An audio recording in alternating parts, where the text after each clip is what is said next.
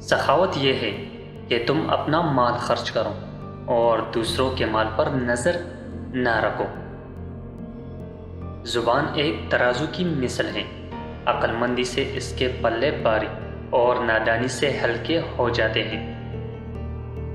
आदाब इंसान के लिए इसका खूबसूरत लिबास और साफ़ सुथरा रहना इसकी जीनत है। सखी वो है जो लोगों के साथ नेक सलूक करे।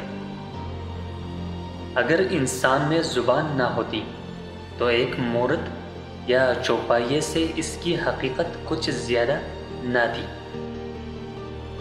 तीन चीज़ें मोमिन की जीनत हैं। अवल खुदा का तकवा और परहेजगारी। दो, रास्त गुफ्तारी। सोम अमानतदारी।